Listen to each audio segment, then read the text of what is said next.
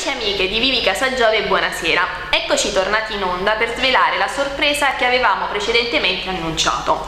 Da questa sera un angolo della rubrica culinaria Gusto e Sapori sarà riservato esclusivamente ai dolci.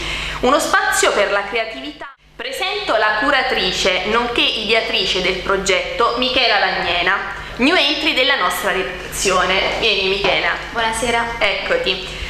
Michela, a te un benvenuto da parte di tutti Grazie. e una veloce domanda. Come mai l'idea di proporre un angolo riservato ai dolci? Perché comunque i dolci mi sono sempre piaciuti, sono sempre stati la mia passione e quindi perché non condividere eh, questo hobby con gli altri, con i lettori e le lettrici di Vivi Casa Giove? Noi ne siamo pienamente contenti. Eh, immagino, sì. Anche perché No, siamo super sempre golosi piacere, certo, e penso fa che anche sempre- i spettatori apprezzino Sì. un angolo anche per qualche spunto di idea. E... No, esattamente, infatti ciò che vorrei proporre è pu- appunto eh, dare slancio alla creatività e quindi comunque stravolgere la tradizione e la classicità.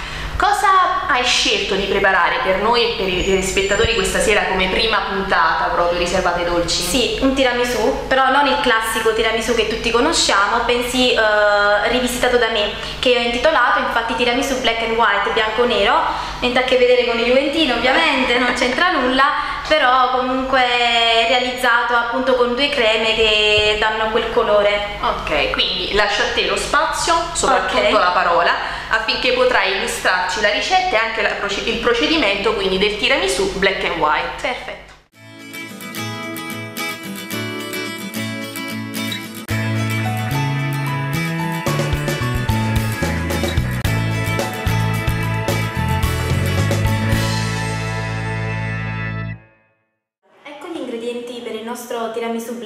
White. Allora partiamo vabbè, con questi biscottini che poi utilizzeremo per la decorazione come queste granelle di noccioline per poi passare eh, ad una delle creme principali in effetti questa è la crema al burro al cioccolato realizzata eh, con 150 g di zucchero a velo eh, aggiungendo poi eh, il cioccolato eh, fuso a bagnomaria eh, 100 g e eh, infine 150 g di burro la panna che poi verrà utilizzata per la decorazione finale, il ciuffo che andremo appunto eh, a realizzare con la nostra sacca poche. E poi eh, passiamo invece a quest'altra crema che è eh, la parte bianca del tiramisù, è una crema Kinder Cereali e quindi eh, realizzata con mascarpone 250 grammi e latte condensato 150 grammi, eh, la panna eh, 250 grammi e poi potrete aggiungere eh, i Kinder cereali sbriciolati e inoltre delle tavolette di cioccolato bianco eh, grattugiato. Passiamo alla realizzazione di questo dolce iniziando con questa crema, la crema white, appunto la crema Kinder cereali che andrò a porre nell'opposita sacca poche.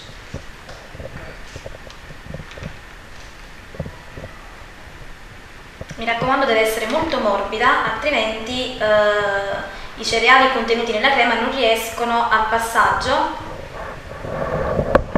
e verranno ostacolati. Ok. È opportuno fare una prova prima nell'opposito contenitore per poi passare al bicchiere dove andremo a realizzare il dolce. Ok, dopodiché passo ai savoiardi, i tipici biscottini utilizzati per il tiramisù. Ovviamente per la bagna eh, potrete utilizzare latte e caffè se eh, non desiderate una forte essenza di caffè. Ok.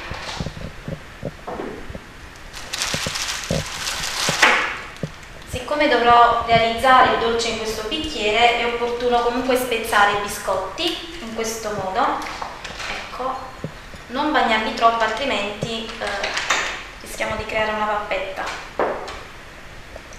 Ecco, in questo modo e vado ad appoggiarli sulla crema che ho messo precedentemente.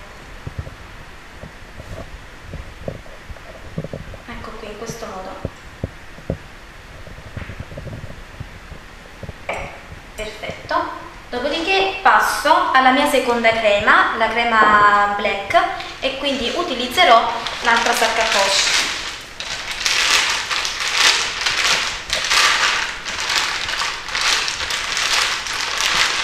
è importante che questa crema eh, resti fuori dal frigo per un po' perché altrimenti rischia di indurirsi e quindi diventa impossibile porla nella sacca poche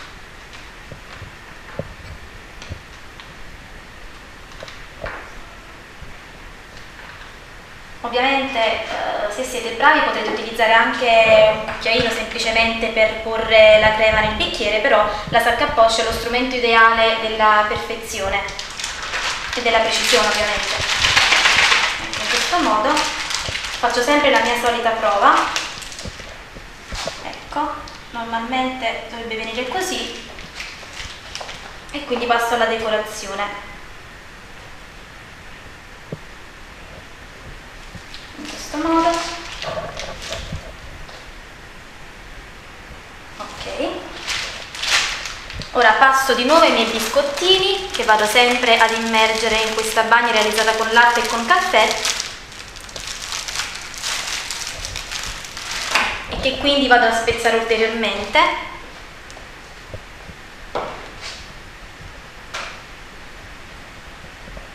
Mi raccomando la posizione dei biscotti sempre orizzontale perché altrimenti non riusciamo a far notare eh, l'effetto bianco-nero.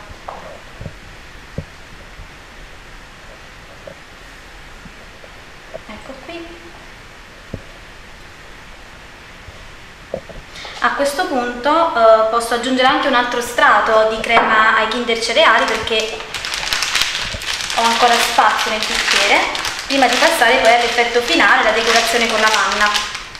Anche perché abbiamo ancora un bel po' di crema qui e quindi.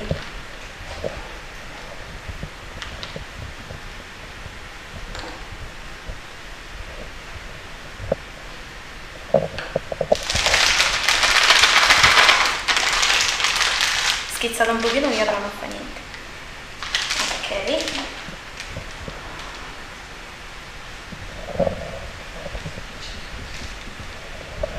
perfetto. Aggiungo un altro strato di biscottini perché altrimenti diventa troppo cremoso e quindi non è piacevole al palato.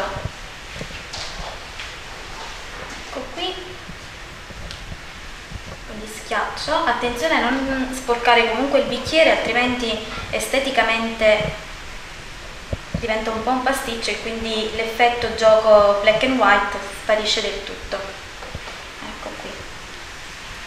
Ok, quindi il dolce è completato, non resta che uh, passare alla decorazione finale che devo realizzare con questa panna e quindi cambio ulteriormente la mia sacca a poche, sono sporcato, non fa niente.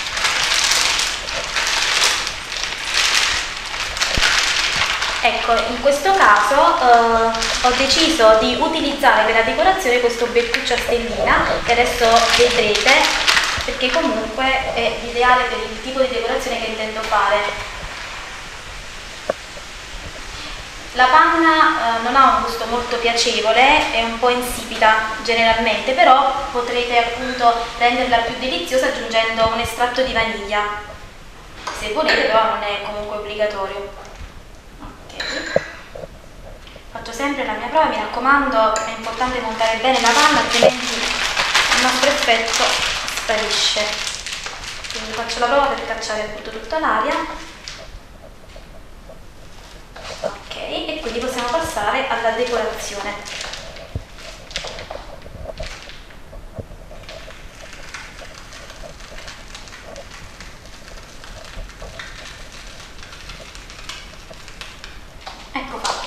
Dopodiché, ovviamente così è un po' troppo semplice, possiamo aggiungere queste granelline appunto di nocciole, una pioggia anzi di granelline. Esatto, così.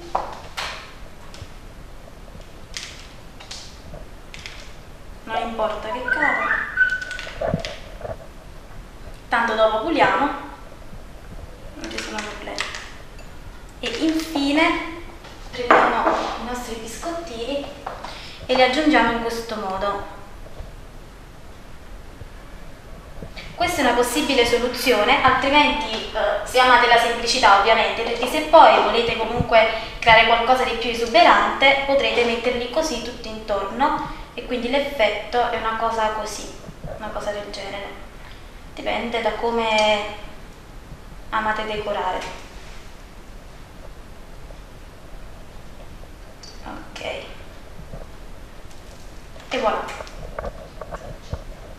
Il dolce è pronto, non ci resta che mangiarlo.